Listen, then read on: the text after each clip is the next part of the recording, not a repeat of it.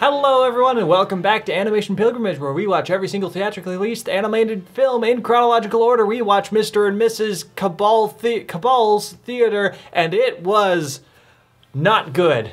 This movie's fucked. End of review. See y'all later. Goodbye. Oh God, why? So, this almost. we just watched a good movie. Why do we have to go so far This is a? French film from 1967. Mm. Trying to get this one over as fast as possible. I don't want to think about this movie. Uh, you know Heaven and Earth Magic? And how that was an art house trippy film of paper cutouts? This was very similar. Of it was a lot of paper cutouts, but of actually hand drawn stuff. So there's Of actually art. illustrations. So, so there's art direction, Yeah. and it's just a bunch of random stuff that Mr. and Mrs. Kabal do. And they just do it a lot for a very long time. Okay. This movie is okay, decent, has some moments for the first like 10 minutes. And then you realize you have another hour and 10 minutes to go. Yeah. Yeah, it wears out its welcome about 10 minutes in. About the time the butterflies show up. And at that point, you're just like, you know, I think I'm done. And then you look at the clock and you're like, oh no, we've only been watching for 10 minutes. This movie hasn't even started yet. No. Mrs. Kabal is a weird monster lady who might be a robot. Yeah, she's definitely a robot. And then Mr. Kabal, He's a pervert. oh yeah, he's a horrible pervert. Every 10, 5 to 10 minutes in this movie, he finds some place to go, pulls out his binoculars, and stares at a live action woman, Yeah, because a this different is a mix, one, every single time. Yeah, this is a mix of of. Oops, sorry. This is a mix of animation and live action, but the live action is just of women. Sexy women, usually sunbathing or doing something similar, and then an angry old guy with a beard coming out and yelling at him. Mm-hmm. And that's the end of that. We're just gonna Well, do that. Well, it's not the end of it. You're gonna see We're it gonna do it like six or seven more times. more than that. Eight times total. Eight times so. There are, were seven girls. Mm-hmm. The only reason I know is eight times total is because they each get one, and then we have the eighth one at the end where they're all sitting around together. Mm-hmm. And then that was the last time we see that thing. So eight times this happens. Eight times we have to watch this guy creeping on some random lady. And, okay, we should also say this movie started with a warning of like this is meant for mature audiences only. There's nothing here.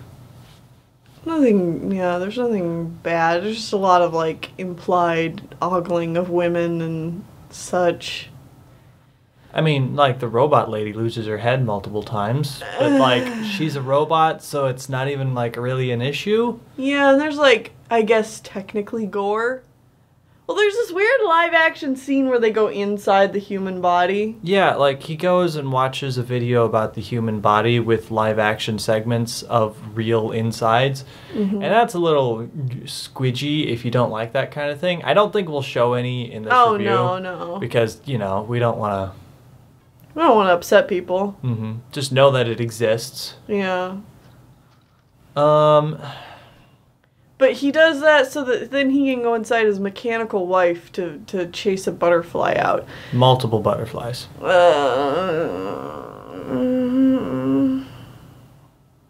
Things just kind of happen and then they end and then we move on to something else.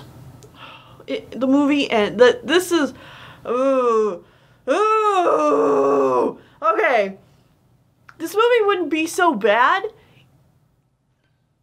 if it wasn't an asshole about everything it's trying to tell you. It holds on shots for way too long, assuming that you are too stupid to understand what is going on. And it's like, every 10 seconds, I'm like, I get it, movie, move on. I get it. I see it with my eyes. Let's move on. But instead, it just holds. It holds on these shots like, do you understand? Do you get what's going on? Should we show it for longer? And I'm like, please, God, no, just make it stop. This movie sucked. wow. Oh. I personally did not find it as offensive as you did, clearly. This this just reeks of pretentiousness.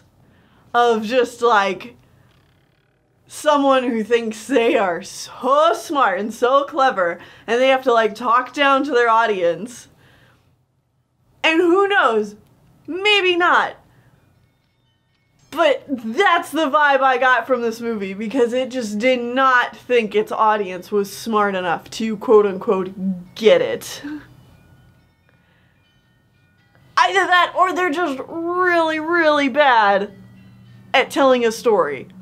Which is also possible, but I also know that this is not this director's only film. Is it their first? No. Okay. It's their first l- animated film, obviously, and their last. good. Good. No, the director of this film, who I'm not gonna bother saying the name of because I don't know how to pronounce it, but I looked him up on Wikipedia, and you know what the Wikipedia article had to say in like the first two sentences? He's a pretentious a-hole. The Wikipedia article is like he's a Polish director, often cited as a genius who happened to be a pornographer. I'm just like, all right, cool, I'm done. I'm done. Get me out of here. I'm Audi 5000. Screw all this. I hate it. Thanks. Okay. There's not even any nudity in this movie.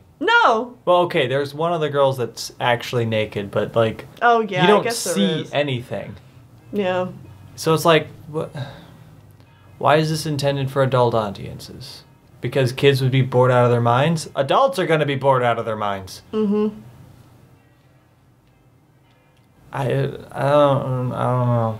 I just we could summarize what happened, but like, who gives a shit? I already forget yeah, most of it. Honestly, the first 10 minutes are not bad. They're amusing enough. They've got some funny jokes. There are some funny jokes in this movie, but it is so pretentious and assumes that you won't get it unless it shows the joke like five or six times. Or thinks that its jokes are so funny they need to come back five or six times. And it's just like, no, it it was it was like a hmm, the first time, and now I'm just irritated. Oh my goodness. I hated this. I can tell. I thought it was pretty boring and just kept going, but I didn't hate it per se. I hate it because it's just a waste of my time. It's like it has no good reason to be as long as it is, but it is just because, Okay. and that's what makes me angry. All right. So, would I recommend people watch this? Hell no. Nah. Uh, honestly, I think that's probably going to be it for this episode. This is a short episode of Animation Pilgrimage because this is all this movie deserves. See you next week, everybody, where we review The Wonderful World of Hans Christian Andersen. by Toei Animation. Thank you all, and goodbye.